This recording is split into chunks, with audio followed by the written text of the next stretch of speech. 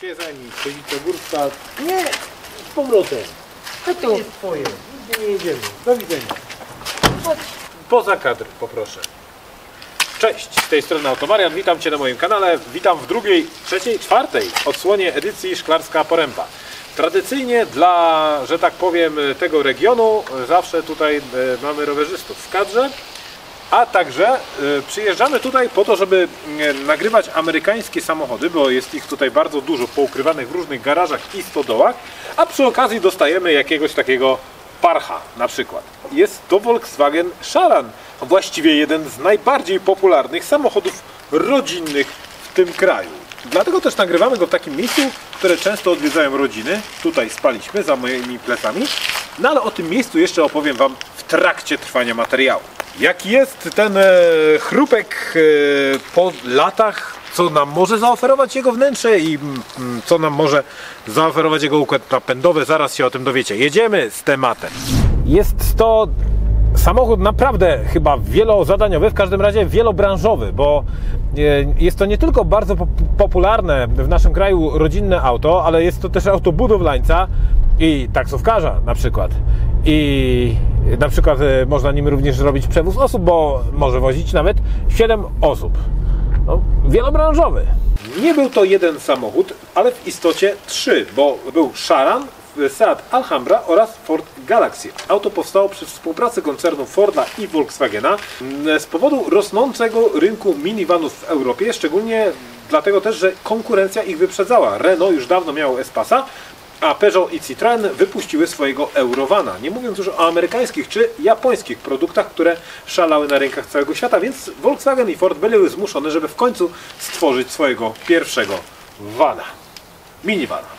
Dla mnie ten samochód był jedną z opcji do wyboru jako van, do podróżowania, dlatego że jako jeden z niewielu producentów Volkswagen oferował w tym modelu napęd na cztery koła 4Motion oparty o Haldexa. Ten też ma tego Haldexa właśnie, ale nie o tym. Zrezygnowałem z Sharana dlatego, że nie ma drzwi przesuwnych, co dla mnie jest kwintesencją w tak dużym samochodzie. W samochodzie, który no, ma być rodzinny, łatwy, praktyczny. Po prostu. Ale ciekawe jest to, że ten projekt powstał w 1987 roku. W głębokiej tajemnicy inżynierowie Forda i Volkswagena opracowali wtedy właśnie pierwszego minivana tego koncernu, który zakładał, że auto będzie miało drzwi przesuwne, ale uwaga, tylko po jednej stronie.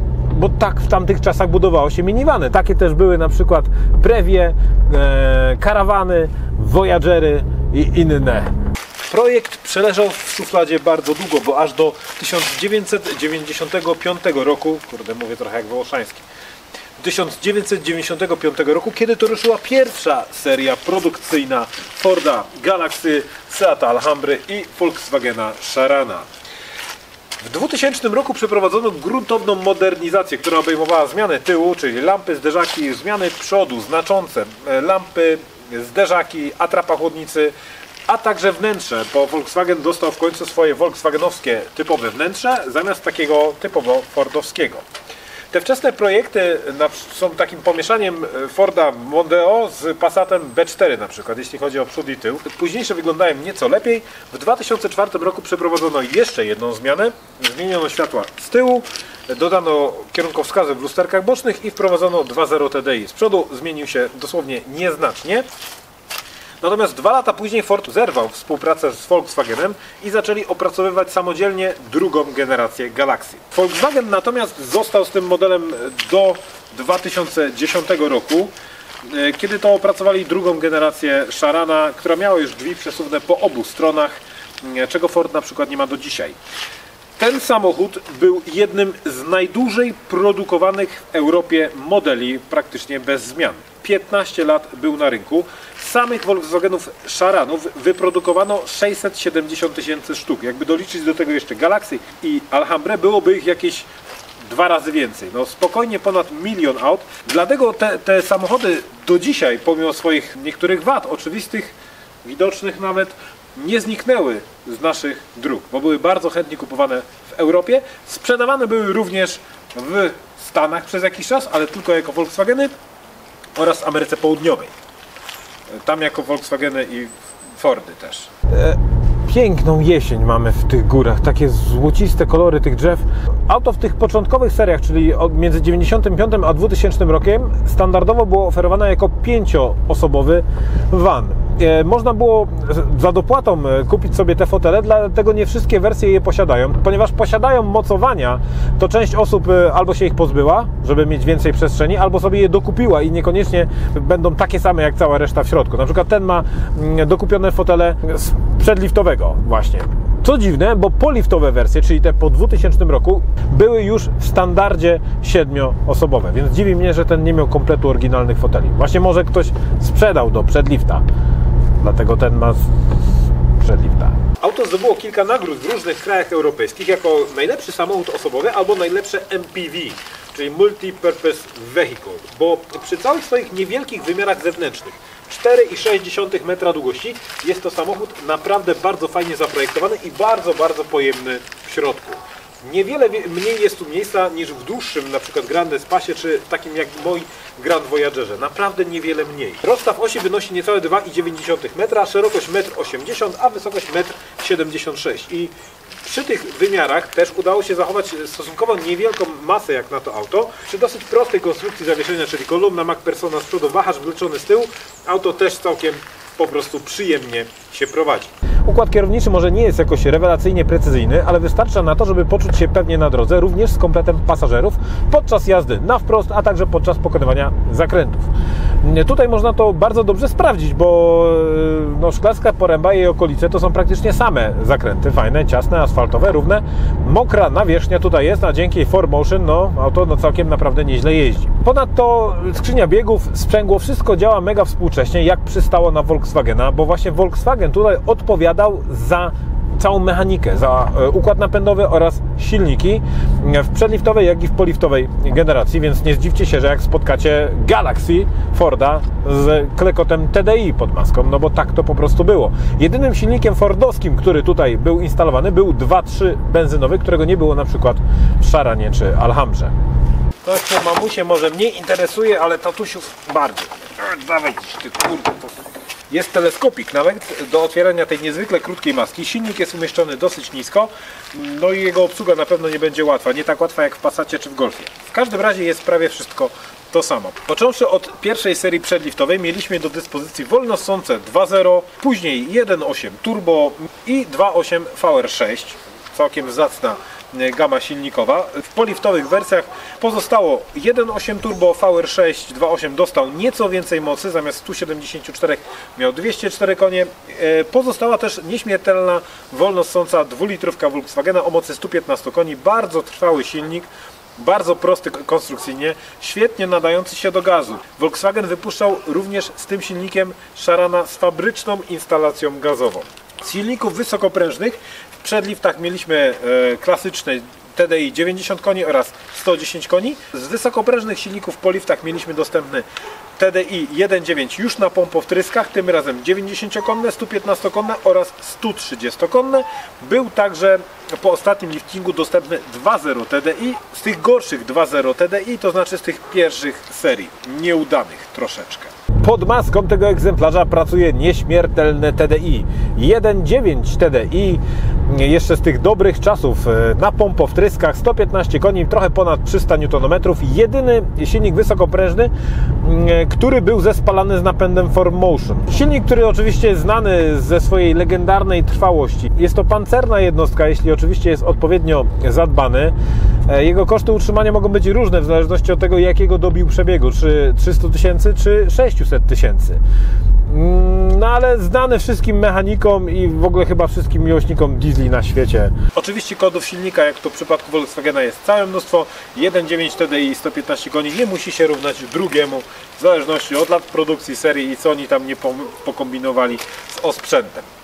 Wszystkie parametry oczywiście zamieszczę tutaj w tabelce. Ogólnie podsumowując można powiedzieć, że najlepszym wyborem z benzyn do tego samochodu będzie 1.8 turbo. Nie ma ich za dużo, ale mimo wszystko to jest doskonały kompromis pomiędzy osiągami i spalaniem, a także relatywną trwałością.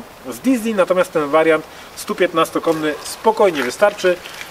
E, Ma dosyć mocy i momentu, żeby napędzać to auto, nie będzie kosztowny w naprawach, chociaż to zależy od przebiegu i będzie palił tyle, nie będzie dużo palił, ale palił będzie.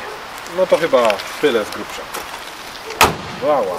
Wielką, naprawdę największą zaletą tego samochodu, z perspektywy kierowcy oczywiście, jest widoczność. Jest doskonała w każdym kierunku. Szyba czołowa jest przeogromna. Mamy dodatkowe małe szybki przy lusterkach, duże lusterka, znaczy du szerokie bardzo lusterka. Jak się obejrzy do tyłu, no to powierzchnia szklona jest na tyle duża, że naprawdę w każdym kierunku widać bardzo dobrze. Tylne fotele, jak są rozłożone, fotele trzeciego z rzędu, trochę zasłaniają tylną szybę, która jest również ogromna, ale gdyby były złożone na płasko, byłaby tam zaciągnięta roletka bagażnika, no to rewelacja.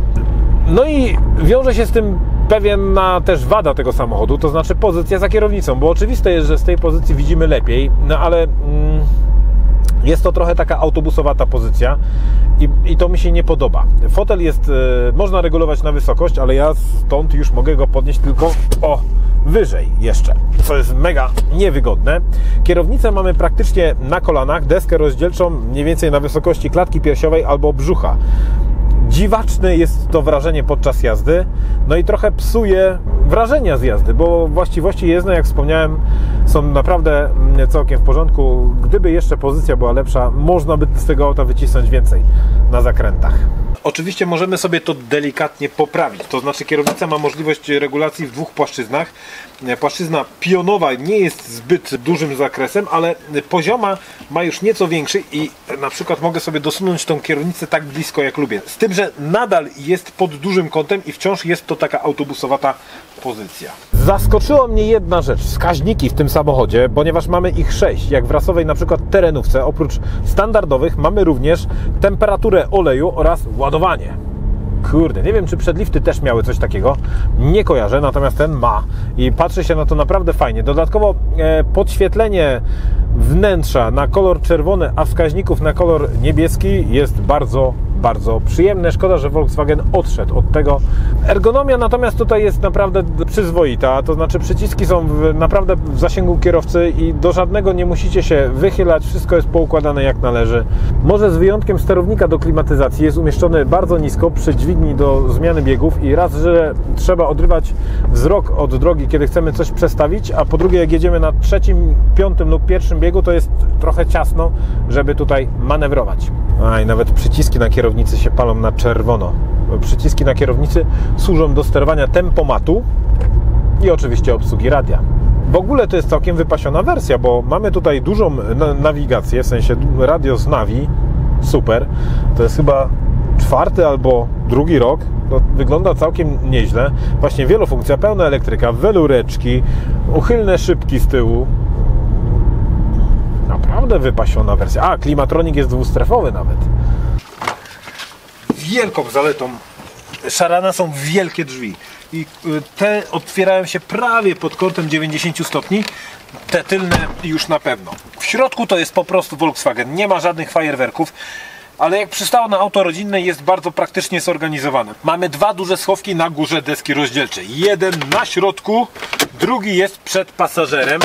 Obydwa są duże, pojemne, spokojnie da się je wykorzystać. Jest również oczywiście na dole deski, też schowek przed pasażerem, ale jest on bardzo niewielki, płaski taki.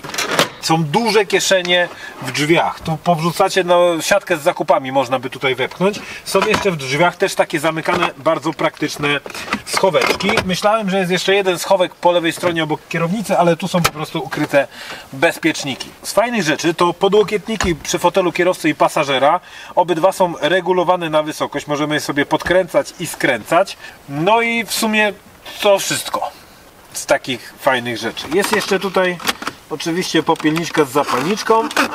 Materiały są w miarę dobre. Po latach Volkswagen troszkę się rylo i skrzypi, ale to oczywiście zależy też od przebiegu i stanu zadbania auta. Ten na blacie ma 29 296 966. Ale cyfry mi się tutaj znowu trafiły.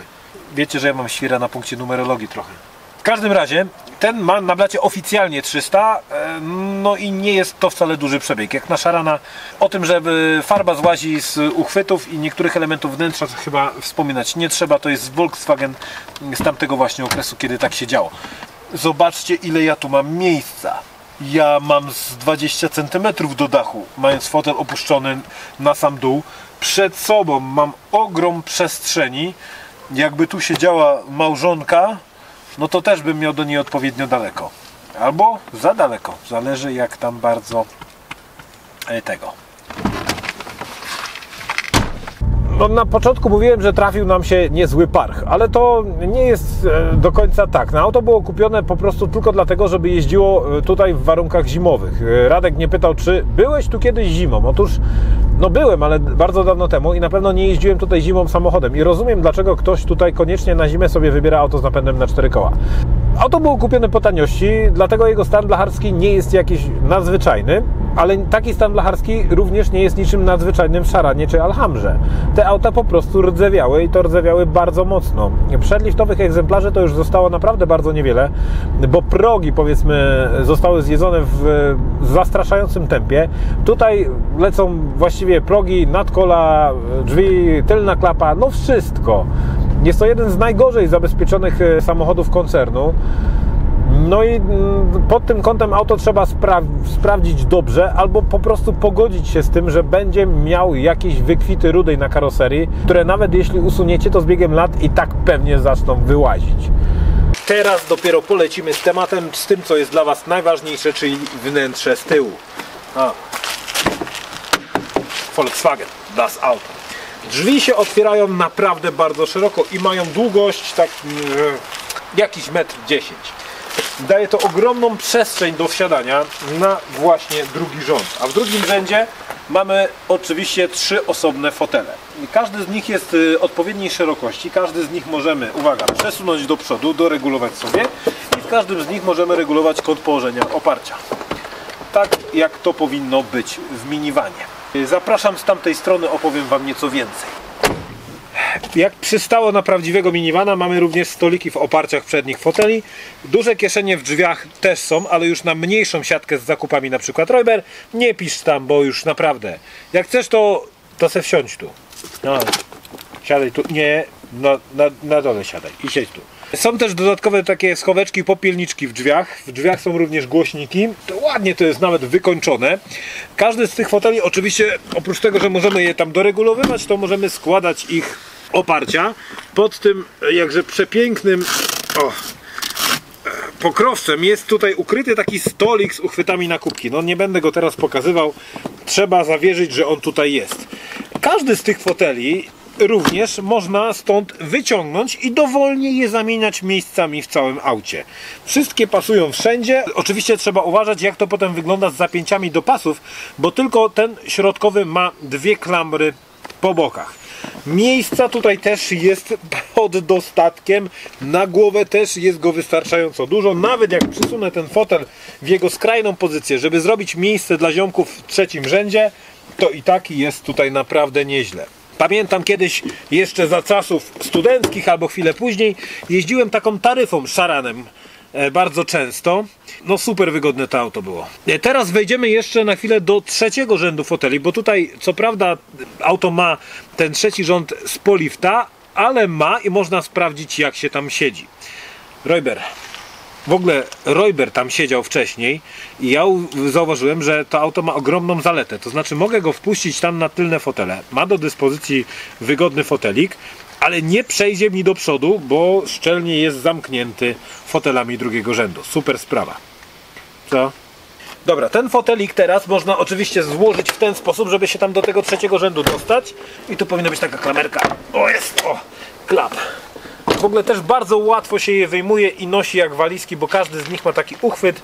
Można sobie zrobić dowolną konfigurację, nawet tak, że w drugim rzędzie będziecie mieli tylko dwa fotele ustawione. Super sprawa. A po wyjęciu wszystkich foteli jest tu płaska podłoga, więc spanie w aucie jak najbardziej ok. Dobra, to ja sobie tu po, poprzestawiam. Tutaj ten trzeci rząd jest taki pełnoprawny, a nie taki dokładany jak na przykład w S-Maxie czy Grand Scenicu, a mm, to auto nie jest wcale dłuższe od Grand Scenica czy C-Maxa. Fotel nie jest bardzo nisko zamontowany, mamy w miarę wygodną pozycję, jeśli chodzi o wysokość siedziska, a nad głową też jest wystarczająco dużo miejsca, więc nie jest to tylko trzeci rząd dla tych najmniejszych dzieciaków, tylko może być wykorzystany nawet dla dwóch dorosłych osób. E, Boczki są w całości obszyte welurem, są tutaj również ślady po rolecie bagażnika, które możemy normalnie zamontować, no ale na przykład e, jak do tej pory Zwiedzając cały ten samochód, spotkałem tylko jeden uchwyt na kubek. Jeden uchwyt na kubek w aucie siedmioosobowym. Totalna porażka koncernu Volkswagena i Forda. Nie wiem, który z nich to wymyślił. Podejrzewam, że nie Ford, bo Ford to w końcu jest koncern amerykański. To na pewno nie wymyśliłby samochodu, który nie ma uchwytów na kubki. W tym trzecim rzędzie z fotelami przedliftowymi jest jedna fajna rzecz. Z fotelików rozkładają się takie mini foteliki dla dzieci. Super sprawa. To teraz bagażnik jeszcze. Cyk, cyk. Nie ma tutaj żadnego takiego mechanizmu zmyślnego. A czemu ja mam otwarty bagażnik? To nie tak miało być. Tym razem podczas pobytu w Szklarskiej zostaliśmy ugoszczeni też bardzo fajnym miejscu. Ośrodek Centrum Usług Logistycznych, czyli jest powiązany jakby z rzemieślnikiem, w którym byliśmy ostatnio. Nazywa się Olimp. Jest bardzo pięknie położony. Po, zupełnie po drugiej stronie, po przeciwnej stronie szklarskiej poręby w stosunku do rzemieślnika mm, jest w takim ciemnym lesie na wzgórzu pośród właściwie niczego. Wokół tutaj jeszcze pewnie jakiś czas temu nie było żadnych innych obiektów ani hoteli. Teraz troszeczkę mm, się atmosfera tutaj zagęściła, natomiast nadal jest to budynek dosyć odosobniony i naprawdę położony w bardzo cichym i spokojnym miejscu. Jak każdy właściwie budynek w Szklarskiej Porębie ma swoją historię. No tu jest tyle budynków, tyle domów, takich, które wyglądają na to, że naprawdę pamiętają wiele, wiele pokoleń i dawne czasy i zapamiętały i usłyszały niejedno zdanie w każdym języku, można powiedzieć chyba przede wszystkim w niemieckim kiedyś. Budynek pochodzi jeszcze z e, lat 20. ubiegłego wieku. Podczas e, II wojny światowej służył on za taką bazę, powiedzmy, logistyczną e, żołnierzom Luftwaffe, a w powojennej Polsce zapisał się też dosyć znacząco, chociaż niepozorny. To tutaj w 1947 roku odbył się zjazd wszystkich szefów partii komunistycznych dawnego bloku wschodniego. Rumunii, Bułgarii, Polski, Czechosłowacji itd. Tak itd. Tak I tutaj podjęto właśnie w 1947 roku decyzję o takiej twardej stalinizacji, o takim twardym komunizmie i represjach, które później miały miejsce w Polsce, właśnie w murach tego budynku. Podjęto także tutaj decyzję o powstaniu biura, takiego biura śledczego, biura komunistycznego, które no jakby inwigilowało obywateli i wszystkie inne organizacje, które w Polsce wtedy miały. Także niepozorne, a jednak całkiem znacząco historyczne miejsce. Ja w tej chwili znajduję się w takiej salce konferencyjnej, znaczy nie w salce konferencyjnej, chyba kiedyś była ona salką konferencyjną, teraz jest takim pokojem zabaw dla dzieciaków. Jest tutaj stół bilardowy, jest stół do ping-ponga, także fajne miejsce dla e, rodziców z, z, dziećmi. Generalnie obiekt jest ogromny, e, kilka kondygnacji. Jest tutaj też, uwaga, basen, bardzo fajny. Jest tutaj właśnie też salka konferencyjna ciekawie umieszczona. Pokoje są całkiem fajne. Oczywiście ośrodek też dawne czasy ma już e, za sobą. Trochę tak pachnie pomieszaniem PRL-u z latami 90. Natomiast tworzy bardzo fajny klimacik i przede wszystkim jego umiejscowienie jest jest bardzo, bardzo przyjemne, bo jest stąd zaledwie 15 minut do centrum Szklarskiej Poręby. Pieszkiem. Wczoraj żeśmy szli nawet z Adamem i chyba nam to zajęło mniej niż 15 minut jeśli komuś zależy na fajnym miejscu, e, bez zbędnych luksusów, takim miejscu, w którym dzieciaki też mogą się czymś zająć, a nie tylko telefonami czy oglądaniem telewizji, e, no to miejsce to jest naprawdę przystępne cenowo i fajnie umieszczone. Myślę, że warto je polecić. Jest to oczywiście obiekt MSWiA, e, więc z reguły tutaj się odbywają jakieś tam szkolenia, konferencje i tak dalej resortowe, natomiast jest on również dostępny, tak jak i rzemieślnik, dla ruchu turystycznego i można to miejsce sobie ogarnąć. Podlinkuję Wam oczywiście w opisie opisie link do tego miejsca. A jeśli ktoś ma z Was taki fajny obiekt gdzieś w Polsce i do tego fajną furę i chciałby mnie zaprosić, żebym opowiedział o jednym i o drugim, dawajcie znać. Również bardzo wygodnie się wysiada z tego trzeciego rzędu. Nie ma niestety tutaj żadnego zmyślnego mechanizmu, który otwiera, składa fotele w jakiś e, taki fikuśny sposób, no ale mimo wszystko jest to e, naprawdę bardzo wygodne. Klapa bagażnika jeden z elementów, który też dosyć łatwo zmienia kolor, więc szkoda, że nie było na przykład e, tych szaranów w kolorze brązowym. Wtedy nie, nie rzucałby się tak w oczy mm, upływ czasu. E, tutaj też widać pewne braki jakościowe. No cóż, no, te fotele mogą mieć już ponad 20 lat, więc na to nie zwracajmy uwagi. Wierzę, że gdyby to był na przykład Chrysler albo Toyota, to takie rzeczy po prostu by były nadal na miejscu, pomimo wieku. E, tutaj bagażnik jest też bardzo mocną stroną szarana. Bez tych foteli drugiego rzędu mamy tutaj spokojnie jakieś 1000 litrów pojemności. Bardzo, bardzo dużo. I odległość od tylnej klapy do na maksa odsuniętego do tyłu drugiego rzędu foteli to jest grubo ponad metr. Nawet pa- europaleta by tutaj weszła. Szerokość to jest metr 20, to jest naprawdę sporo. Wysokość jest jakiś metr 20 również, taki dosyć kwadratowy. Natomiast jak wywalimy wszystkie fotele, to do dyspozycji mamy 2000 litrów, a odległość od klapy do przedniego fotela to jest ponad 2 metry. Także też spoko na spanie dla dwóch osób nawet by się nadawał, jeśli ktoś by miał ochotę. Można by nawet tutaj zabudowę skonstruować jakąś, no bo jak mówiłem wcześniej, podłoga jest zupełnie płaska. W bagażniku jest jeden schowek tutaj na obudowie nadkoli, też to się rozleciało i jeden schowek na lewarek i klucz do kół mm, po prawej stronie. Po lewej stronie natomiast mamy gniazdo na 12 V. Wszystko. Aha, koło zapasowe jest pod samochodem, więc e, montaż butli z gazem też pod samochód, jeśli już.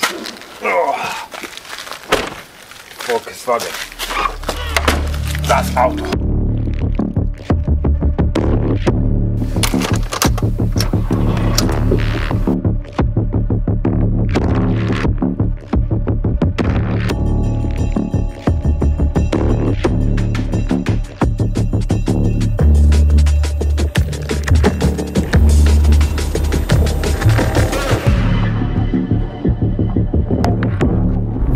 Różnych zestawień, rankingów, raportów, opinii użytkowników ten samochód nie jest super niezawodny. To znaczy, może jest niezawodny, o tyle, że nawet jak się coś w nim zepsuje, to i tak Was dowiezie na miejsce, natomiast nie jest super bezawaryjny. Zdarzają się tutaj różnego rodzaju problemy, głównie z jakimiś modułami, elektroniką, rzadziej z podzespołami napędowymi, bo to jest e, technologia Volkswagena, no ale mimo wszystko nie jest to taki super Volkswagen, na przykład i długowieczny e, samochód jak Passat B5 albo Golf 4. Te samochody były produkowane w Portugalii, no i ponieważ była to również spółka założona e, razem z Fordem, no to ta jakość wcale nie była fantastyczna. I moim zdaniem dzisiaj te samochody są troszkę przecenione. Dlatego, że za ładny egzemplarz poliftingu z dobrym motorem i wyposażeniem trzeba zapłacić ponad 20 tysięcy. 20-25 tysięcy.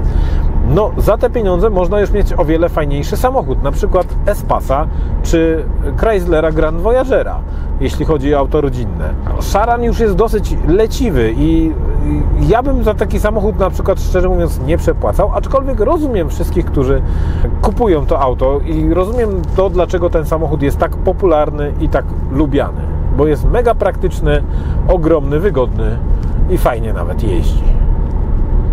Zresztą my z Adamem tutaj już urzędujemy w tym samochodzie jako samochodzie te telewizyjnym drugi dzień i naprawdę bardzo szybko się do niego przyzwyczaiłem. Jest to jeden z tych samochodów, do którego wsiądziesz powiedzmy i po paru kilometrach czujesz się jakbyś już jeździł nim, nie wiem, z dwa lata.